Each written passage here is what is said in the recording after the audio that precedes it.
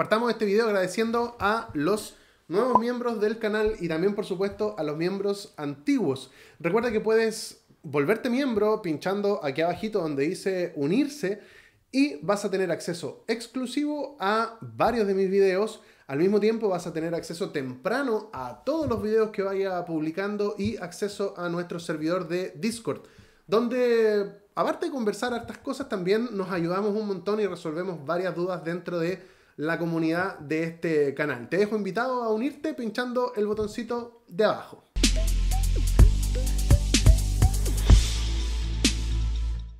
Hola chicos, ¿cómo están? Mi nombre es Cristian Plaza y en el video de hoy vamos a responder a una consulta o crítica en realidad que se le hace mucho a Apple y es que siempre llega tarde en tecnología o características con su equipo. Y vamos a hablar específicamente acá del iPhone. Y es porque cada año con cada WWDC y con cada lanzamiento de iPhone sale alguna característica nueva para usuarios de iPhone que ya existía antes en Android. Como por ejemplo, hace una semana la salida del MagSafe Battery Pack, que es una cargador externo que carga de forma inalámbrica tu iPhone, pero tiene una característica que en Android existe hace mucho tiempo y que está completamente liberada, que es la carga inalámbrica inversa. Eso quiere decir que tu iPhone puede cargar otra cosa mediante carga inalámbrica.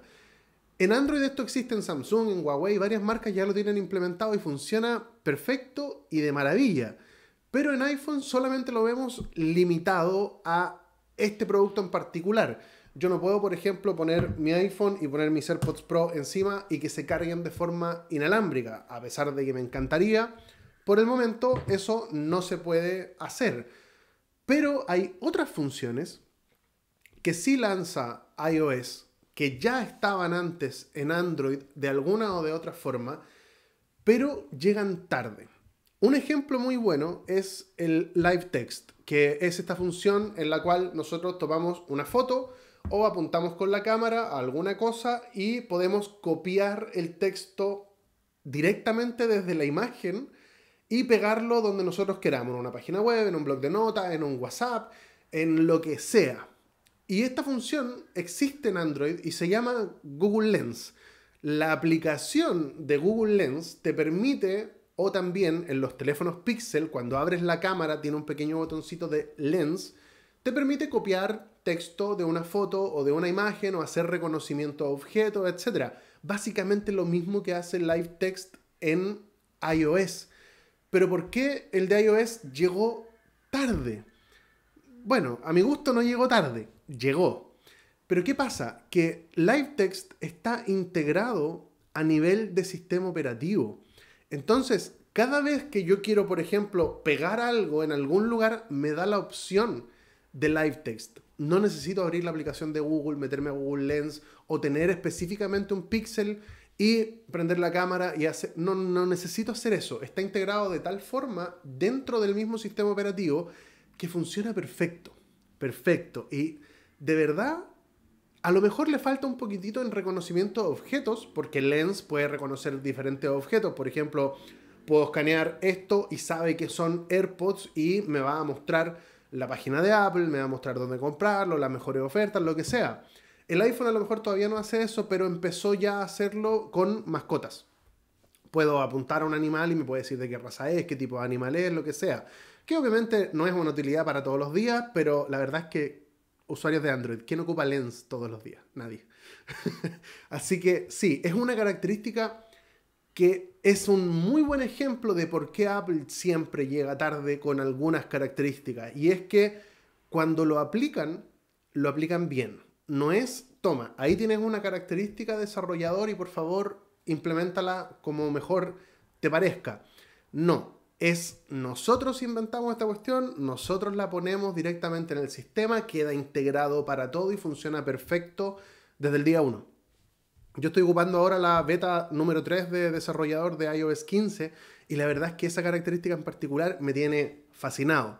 No la ocupo todos los días porque obviamente no es necesario, no ando copiando texto de fotos todos los días, pero sí es una característica muy útil cuando se necesita y es tan fácil de usar, tan intuitiva de usar, que está muy, muy, muy bien lograda. Y además con el sistema de integración, el ecosistema de Apple hace que yo pueda escanear algo, por ejemplo, con mi teléfono y pegarlo directamente en mi iPad o pegarlo directamente en mi Mac. Eh, pasarlo de aquí para allá es otra, otra cosa. Un buen ejemplo nuevo, los focos. Esta característica de iOS 15 permite que nosotros elijamos un estado actual, como por ejemplo trabajo, por ejemplo estoy manejando mi auto, lo que sea, y filtra las notificaciones para que solamente me lleguen las que yo autorizo dentro de ese estado. Por ejemplo, si pongo trabajo, solamente me van a llegar correo electrónico, me van a llegar correos corporativos y todo lo que es red social se va a apagar, lo cual te permite enfocarte en una tarea específica. Esto existe en Android hace harto tiempo, pero el nivel al que llegó Apple cuando lanzó esta característica hace un par de semanas atrás es completamente diferente porque está integrado con mi Mac, con mi iPad, incluso con mi Apple Watch. Yo puedo decirle al Apple Watch o seleccionarlo directamente en la pantalla que me cambie de mi perfil personal al perfil de trabajo y automáticamente todos mis dispositivos se pasan al perfil de trabajo. No es que uno por uno tenga que hacerlo. Entonces, quiero ver una empresa que maneje equipos de Android en la cual, por ejemplo, en Samsung yo ponga eso en mi teléfono y se me aplique, no sé, a un Chromebook, no sé, o a un laptop de Samsung. No pasa. Ese nivel de integración no llega. Y a eso es a lo que quiero llegar con esta respuesta. ¿Por qué Apple siempre llega tarde? Porque se preocupa de hacer las cosas bien, se toma su tiempo, a veces, lamentablemente, se toma mucho tiempo, pero la integración y el ecosistema que hay entre todos los dispositivos de la manzana hace que esas mismas tareas se demoren más. El, mismo, el, ejemplo de, los focos es el mejor ejemplo, porque es una característica que existe hace mucho, es la verdad sencilla, no es, no es algo que se tenga que pensar mucho, de hecho, los mismos de Apple dijeron, oye, los focos nos demoramos una semana en programarlo, a lo mucho. Pero lograr esa integración entre todos los demás les tomó casi un año. Entonces, e, ese es el trabajo que finalmente hace que todo se demore, pero que cuando ya salió la característica funcione como magia. Ahora, todo esto puede sonar muy Apple fanboy y lo más probable es que vea varios comentarios allá abajo eh, diciéndolo y aprovechando que estás en los comentarios, pincha el botón de suscribirse, activa la campana de notificaciones y déjale un like a este video. De esa forma este video va a llegar a más gente y ayudas un montón al canal. Suscribirse es completamente gratis, simplemente pincha el botoncito rojo que aparece acá, no acá en el video, sino que más abajo y suscríbete a este canal.